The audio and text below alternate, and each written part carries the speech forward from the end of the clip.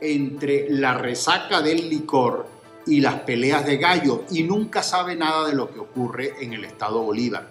Ponen eh, preso a tres líderes eh, laborales de Sidor y dice no saber ni tener conocimiento de la materia. Pero igual dijo cuando firmó el, el memorándum 2792 que le confiscó todos los derechos a los trabajadores, que eh, no sabía exactamente eh, la profundidad del impacto que eso había tenido y tiene en la masa de los trabajadores y que el, gran daño que le ha causado al movimiento obrero a nivel nacional y por supuesto a nivel eh, del Estado Bolívar.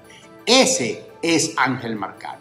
Entonces, Sidor, que hoy es un cementerio de derechos laborales confiscados, no puede llevar definitivamente el nombre de Alfredo Maneiro, quien se esmeró en luchar junto a los matanceros y a los trabajadores por elevar su calidad de vida que Marcano y Maduro le arrebataron de un solo plumazo.